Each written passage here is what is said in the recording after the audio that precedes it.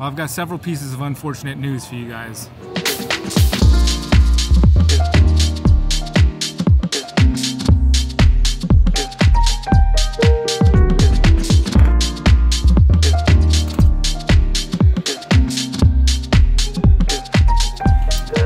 Aloha, top of the morning, friends and family.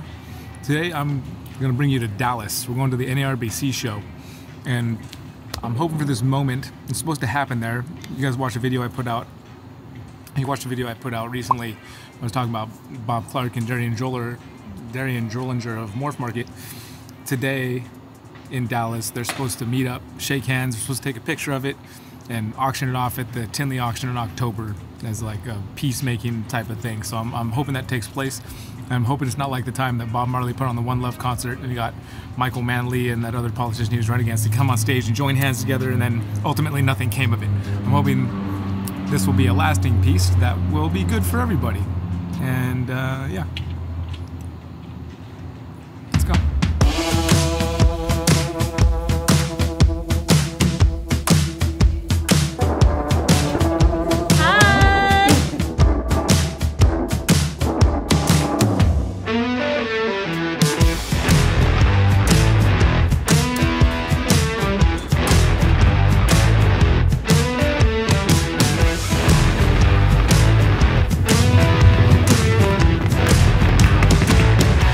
Asking yourself, why? Why, Brian? Why, why do you have so much stuff that it fills up an entire SUV? And, and this is one tenth of a ton, over one tenth of a ton of equipment. And I will tell you about this stuff, just not not yet. Burger break. We are filming. Dave is filming. Dave is filming right now for his Dave Kaufman Eats the World channel, and we got these awesome burgers. Look at those burgers, Dad! Oh my These God. are burgers. There's this this burger versus burgers thing that we're doing, and we're gonna see which one wins. To find out which one of these burgers wins, you're gonna have to go watch Dave's channel. I'll have a link in the description for Dave Kaufman Eats the World. My brand new channel that's only seven months old. Dave Kaufman eats the world. Because I eat the world. we're both like, eh, what? What'd you say? Did you say something? Yep, that's it. It's uh, I think it's worth it. You know, it ends up being a lot to bring, but look at that thing. I finally brought that thing. This is the first time I actually traveled with that whole light stand to a show that I didn't drive to. So, you know, it, it all these stands and stuff. That's just part of what it takes to have a nice, big, professional-looking setup at a show. It's got to bring big cases, and it's not not that big a deal. It makes my traps a little stronger, and I think we're doing all right with it. I think it looks pretty good. the, the budgets of a metal band, garbage. And Brian. I got the Dallas NARBC show. Look, balls and strikes, ball pythons. Check that out. This is a new location for the NARBC Texas show. Moved from Arlington to Dallas, and this room is a lot bigger. There's no chance that we're going to show you the whole show or even a small part of it because we're doing all the videos over there at Redline for uh, the shipping things, which I'll show you guys on a different video. But yeah, just checking it out. I hope so. How you doing? I was like, I was just thinking, where's Tom? hey man. What's up? Is it one? No, it's not time yet. No. Tom Harbin, ladies and gentlemen. Couldn't meet, really meet a better guy in the reptile world, honestly. Wow. Look at how big that is. That is massive. Enjoying the show? Yeah, absolutely, man. Every time. Cool, man. Yeah, I brought my big ones because nobody brings their big ones, or nobody Yeah, has the big ones. I've, I've never. It's the biggest ones I've ever seen That's why I brought them in person. Yeah. Actually, this is the biggest I've seen in person too. Really? So I, I'm not saying that it's the biggest, but it's the biggest I've seen. Uh, Carl, South Tex Gex, check him out. The biggest, biggest leashes I've ever seen in person. Apparently, the biggest ones he's seen too. So I'm not just, I'm not just tripping. You have like a channel or something? Or Uh, I do. What, what is it? Uh, Brian Kusko. I'm actually going to be out at the uh, the finals for the build off uh, this summer Oh, at okay. Emily's place. Yeah. Oh, okay, okay, cool. Yeah, okay. I was there for the first one and then came in third place, so I'll Oh, go out nice, for the nice. finals. Okay, cool. Yeah. Nice to meet you. This summer, when Emily has her big uh, build off, I'm going to go for the finals. How goes it? You have to look at the camera though.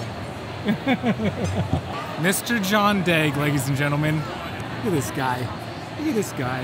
Look at, look at that guy right there. It's good to see you. That's a, that's a good. It's good to see you, man. Hey, black and white. It's it's in. It's in. It's in. Sl- Some grays, that's fine too. Color, out. So that is Fire, Orange Dream, Leopard, and Spider Axanthic. Makes for a very different looking animal. Best part is no pastel. It's just Fire and Orange Dream making it that light. No pastel. No pastel. Wow. I was like, I should say that. I did. I have some Red Line Report shirts, but just so this video stays, con- just so that people know, it is a different day, but you wouldn't know by the clothes I'm wearing. How are you, Brian? You finally want to film something. Come on, do a big old flex or something. A flex?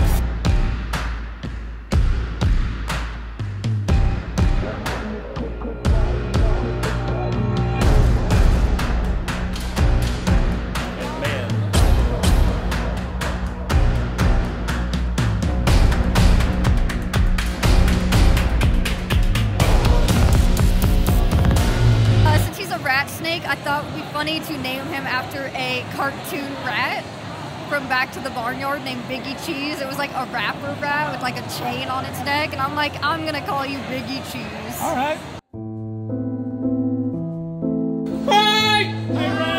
How you doing? We just got here.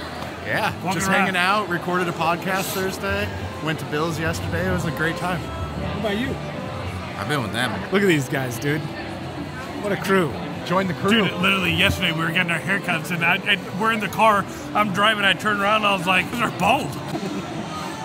My wife would kill me.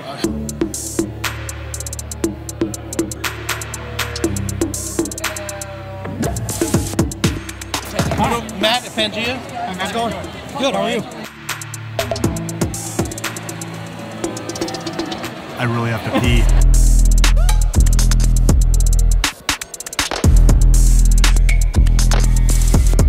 All right, with Zach Part Part and his daughter Drea, I want to hear about your guys' little setup. Are you okay being on video? I didn't ask you. I was like, here, are you gonna be on video?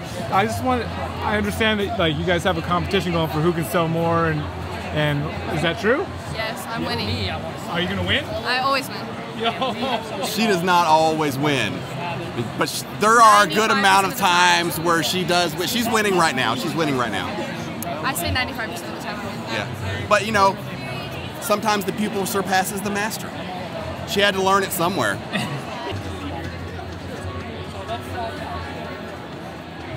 A raise. It says deserves a raise. So have you gotten that raise? No. Is she lying? She's lying. She got a raise like right the week before he sent me that. Actually, he didn't even know. He has no clue what I pay her, and he's all like, "I don't know what you pay her, but she's awesome. She needs a raise, whatever it is." Like, trust me, if you have a kid wanting to do stuff out here like this, like you wish your kid did like this. She doesn't sit here and play on her phone. She is selling snakes, engaged, getting people when they walk past the table, you know. And her conversion rate of new people in the hobby is just what's really stellar. Is the people who've never held a snake the people who come here with their kid and they're like, ah, their kid talked them into coming here because they like it, but they're not sure about it. She gets out there and she gets mom and dad holding the snake, gets the kids involved, and that's what a lot of us lose track of. You know, it's like the simplicity of it. We start breeding these nicer snakes and start getting away from like, you know, the beginner snakes and stuff, and I like we lose sight of it. And so it's good having that at the table, and she just really touches base with them good too. Lock on, dude.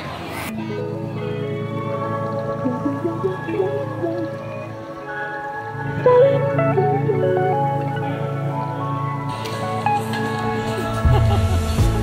yawning.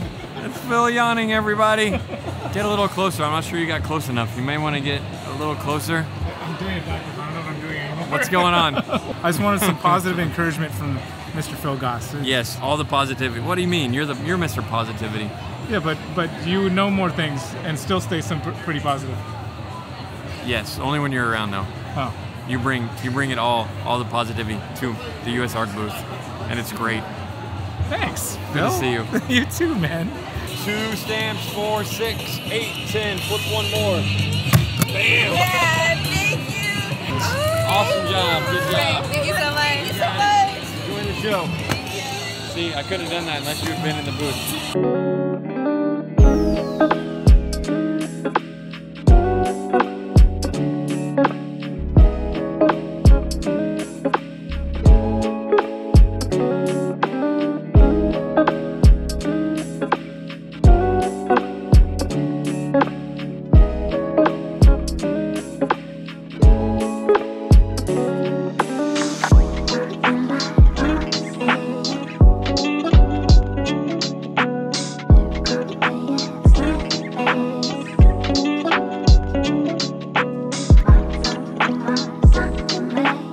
Got several pieces of unfortunate news for you guys.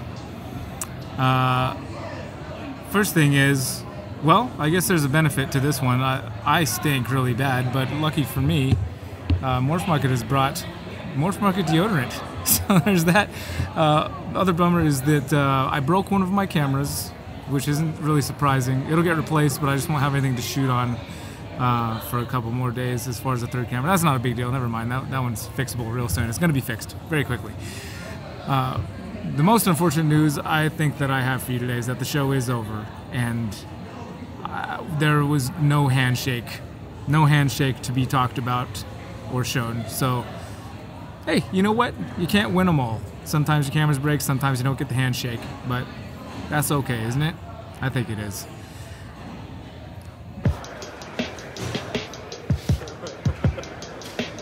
Okay.